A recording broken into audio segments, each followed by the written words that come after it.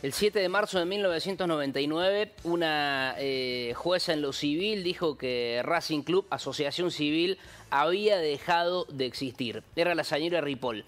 Eh, a partir de allí una eh, conmemoración de, sucesos y el amor del hincha de los 30.000 que fueron eh, Avellaneda, al cilindro, tenía que jugar Racing con Talleres un partido que había sido suspendido. Hay una canción muy interesante que canta el hincha de Racing que dice, aún recuerdo ese día que una, perdón la palabra, vieja chiflada decía que Racing no existía, que tenía que ser liquidado, etcétera, etcétera, y así continúa. Bueno, es un poco el homenaje al día del hincha de Racing y por lo que estamos viendo en imágenes, ese que festeja y abre los brazos es Omar Catalán. Esto pasaba en 1988 en el estadio Mineirao de Belo Horizonte, cancha de Cruzeiro, cuando Racing ganaba la Supercopa y lograba su último título internacional, aquel eh, equipazo dirigido por Coco Basile. A modo de homenaje para todos los hinchas de Racing, eh, lo tenemos al querido Omar para eh, charlar un poquito de esto, ¿no? de esta pasión tan indescriptible y que tuvo también efectos jurídicos, porque a partir de esto que pasó, Racing levantó la quiebra en 2008, pero está la famosa ley Racing, la ley de entidades deportivas, que es un poco salvataje para los clubes que han quedado desfinanciados o muy mal administrados. Querido Omar, feliz día. No sé si sos hincha de Racing o no, pero estás en la historia del Club Seguro. ¿Cómo estás? ¿Qué tal? Buenas tardes, muy bien, muy bien. Gracias por, por este momento. Eh, Un saludo a la gente de Córdoba. Bueno, vos es que pensaba, eh, ¿cómo se lo puede sintetizar al hincha de Racing? Porque eh, es la locura bien entendida o, no tanto, ¿no? Porque está esa pasión, esos 35 años de sufrimiento desde el 66 al 2001, el título de ustedes en el medio, pero ¿qué tenés para decirle al hincha de Racing? No, el hincha de Racing es muy, es muy especial. Como decís vos, es la locura, es, es la pasión total eh, siempre digo que no, no hay hinchas de Racing, son todos fanáticos, pasionales, eh, van a todos lados, es te ama o te odia y no cambia y, es muy especial, es hermosa la gente de Racing, hermosa. Eh, vemos imágenes de ese día que, de este día que cumple ya 24 4 25 años, eh, que estaba Gustavo Costas, ¿no? Ahí en, medio, porque dirigía el equipo, hoy técnico de vuelta, en un poco las vueltas de la vida. ¿Qué símbolo es Gustavo para, para Racing, no?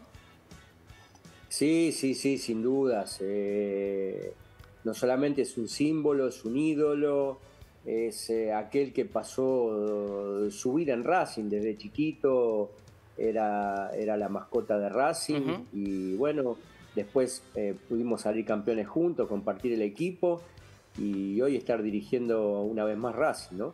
Sí, mascota del equipo de José en la década del 60, ¿no? Qué, qué locura y qué conexión. Eh, te pregunto, Omar, ¿qué fue lo más loco que hizo un hincha de Racing por vos?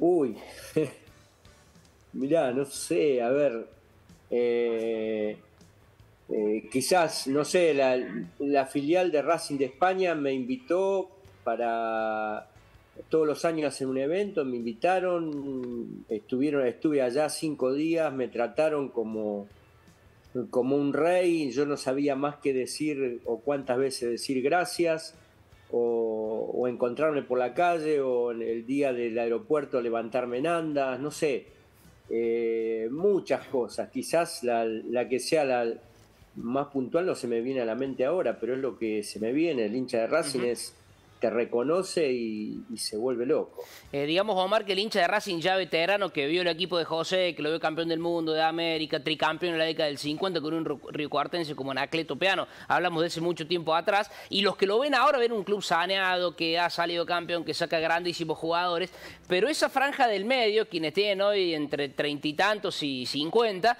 eh, se hicieron hinchas de Racing a través del sufrimiento, el descenso, eh, haber tenido esta situación de prácticamente haber dejado de existir, eh, ver que Independiente haya ganado todo lo que ha ganado, pero el hincha Racing agarró el sufrimiento, lo hizo propio y a partir de allí construye este amor que, que bueno, es difícil de explicar como lo decíamos. ¿Coincidís un poco con eso? Sí, totalmente.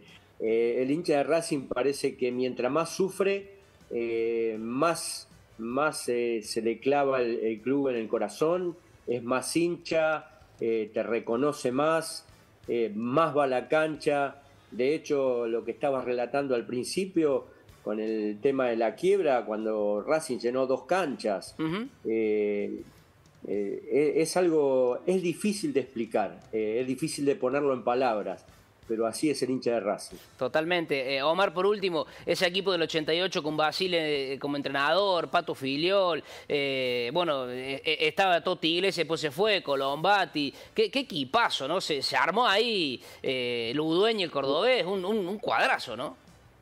Rubén Paz, Medina Rubén Paz, el Mencho, mirá. La Tota Fabri, eh, o sea, jugadores que venían de jugar, eh, había Filiol, campeón del mundo, eh, Rubén Paz venía de jugar, de jugar el Mundial 86, Fabri, Medina Bello después jugaron sus respectivos mundiales en, en Italia y, Estados Unidos. Y, además el Coco Basile. Era, para muchos fue el último gran equipo de Racing, ¿no? Y, y el negro Miguel Ludueña, eh, con quien todavía tengo, tengo contacto, paso una o dos veces por año, paso por Villa María, este, y era un relojito en la mitad de la cancha. Era un equipo de cracks, era un equipo de hombres y era un equipo de buena gente, de gente sencilla, que sufrió todo lo que sufrió Racing. Eh, muchos veníamos del ascenso, eh, muchos venían de Uruguay con todo lo sufrido que es el fútbol y el pueblo uruguayo y se formó un equipo, como te dije, de hombres, de luchadores, pero sobre todo de buena gente.